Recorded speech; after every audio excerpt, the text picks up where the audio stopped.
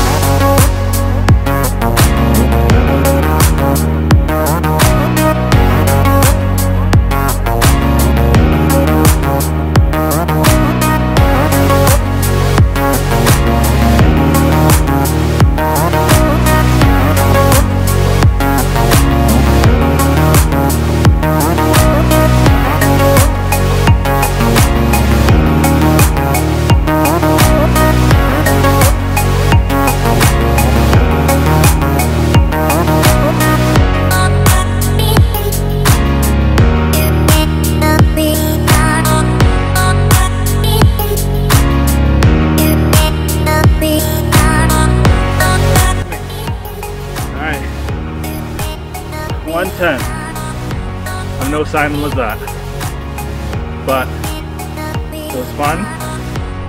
It wasn't as tiring as I thought. It may be due to my compadres here who helped me out a lot. Without them, I probably would have been passed out exhausted. So thank you to my family for helping me out there. But 110, not bad. I guess we'll throw out a challenge to train tots and eights. See if you can be 110. Peace.